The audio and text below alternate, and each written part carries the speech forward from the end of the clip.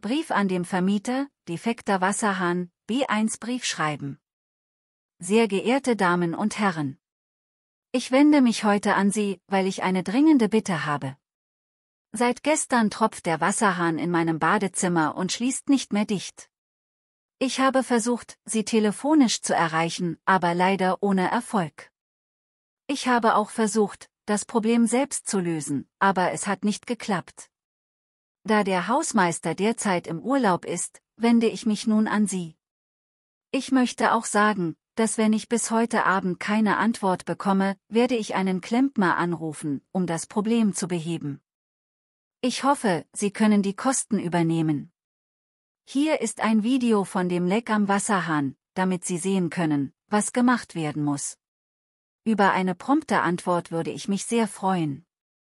Sie können mich anrufen oder Sie können direkt mit dem Klempner kommen. Ich werde zu Hause sein. Mit freundlichen Grüßen.